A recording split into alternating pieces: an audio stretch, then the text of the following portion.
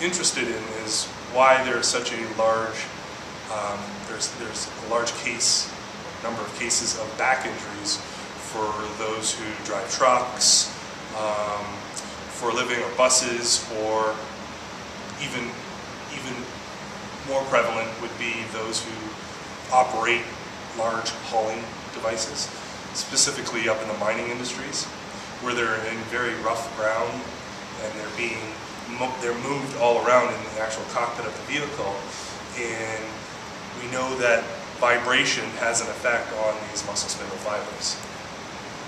It's almost like the muscle spindle fibers say, you know what, you're moving me way too fast and way too often that I'm just going to shut down. Uh, we're looking for subjects uh, around 18 to 30, so males in that age group. And uh, basically what we'll be doing, uh, we're going to be doing research to look at the uh, neuromuscular response during vibration. So, um, as we were talking about before, so under occupational, um, in occupational situations, so say truck driving, uh, different transportation things, so bus drivers, truck drivers, and specifically in coal mining or different mining industries, they're undergoing a lot of vibration. And also with this vibration, the road surfaces that they're um, on are very uneven, so they're undergoing a lot of jolts, which we call perturbations.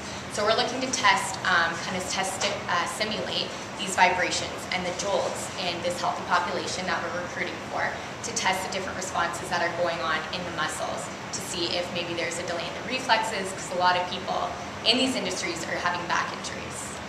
It actually, um, there's something called the muscle spindle receptors. So those are found in the back muscles. So they actually sense the change and the length, uh, sorry, the change in the length, the timing, and the actual length of the muscles themselves. So with the vibration, they kind of cause um, different firing of these muscle spindle fibers. So instead of knowing the length of certain muscles, these vibration are causing, uh, the vibrations are causing them to not necessarily know what the lengths are. So they might be turning off, they might be getting injured. So we're trying to get to the bottom of what's actually going on at the muscle to understand that.